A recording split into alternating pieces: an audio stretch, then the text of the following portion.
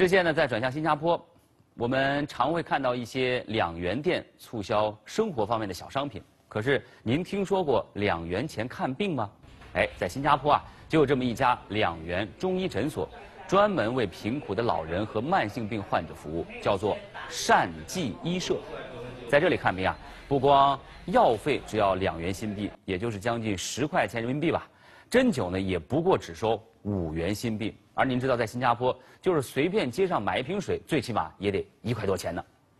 二零零六年，善济医社呢，因为出现了财政问题，难以为继。这个时候，一位名叫卓顺发的华人挺身而出，他毅然卖掉了自己白手起家经营了二十四年的上市公司，全心投入到善济医社的运营当中。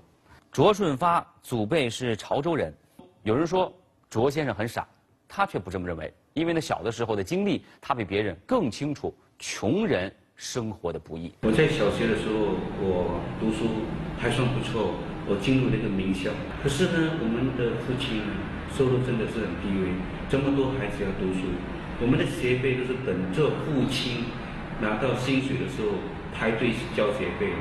然后有一次，老师跟我讲了一句话，就是说，做同学下个月麻烦你不要让我难做，学费记得带来。无奈之下，十五岁的卓顺发呢被迫辍学了。他做过童工、杂工，也做过建筑工人。经过打拼，后来他创立了自己的家具品牌，并顺利上市。虽然从穷小子磨砺成了企业家，但这并不是卓顺发的最终理想。他每年都会拿出自己的大部分收入做善事。二零零八年汶川地震，他还带头捐建了七所希望小学。由于多年来呢一直坚持做善事啊，他获得了新加坡总统颁发的公共服务奖章和公共服务勋章。如今呢，善济医社已经步入了正轨，到明年的三月份还将有六家分社在新加坡开张。今年五十三岁的卓先生还计划在五年之内将诊所的数量增加到二十家，为的就是方便患者能够就近治疗。他说。为了善济医社的扩大，他已经做好了卖车卖房的准备。